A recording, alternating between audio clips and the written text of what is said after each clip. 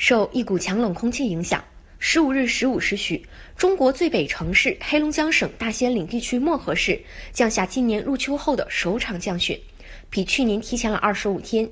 漠河是中国最北端的城市，也是中国纬度最高、气温最低的城市。所辖五 A 级景区北极村是中国唯一可以观赏到北极光和极昼现象的地方。十五日十五时许，鹅毛大雪从漠河市上空不断飘落。不一会儿，漠河市的街道、公园、树木就被白雪覆盖，杨树叶上和松树松针上挂满了洁白的雪球，仿佛到了冬天。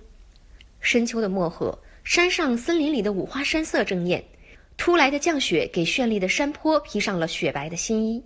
远远望去，雪中的森林宛如童话世界，鹅毛般的雪花让正在漠河游玩的中外游客欣喜不已。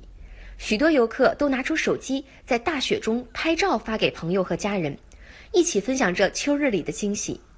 秋天还有冬天的景色，这种鹅毛大雪真是没见过这么美。然后吧，这也赶得这么巧，赶得那么巧。你看五花山色，就是你这这这种白茫茫的，看着这场大雪，感觉冬天快来了。惊喜惊喜，真的惊喜，真的太漂亮。到漠河来玩的，正好赶上漠河这场大雪。非常漂亮，太漂亮了。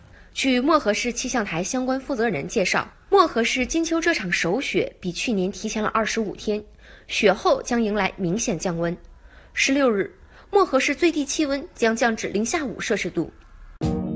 更多精彩尽在中国新闻网客户端。